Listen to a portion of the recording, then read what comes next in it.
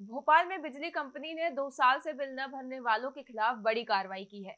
बिजली कंपनी के अमले ने पुलिस की मौजूदगी में कार्रवाई करते हुए शहर के कई इलाकों के ट्रांसफार्मर उखाड़ दिए हैं।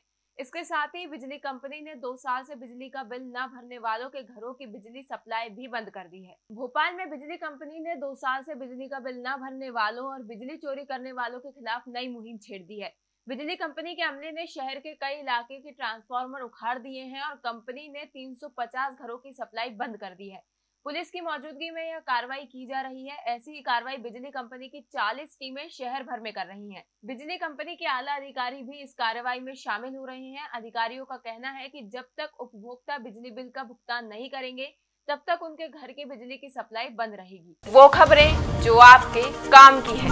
वो खबरें जो आपके लिए ज़रूरी है। हर आम और खास से जुड़े मसले। हर मसले का सटीक विश्लेषण। हम करते हैं सत्य का अन्वेषण।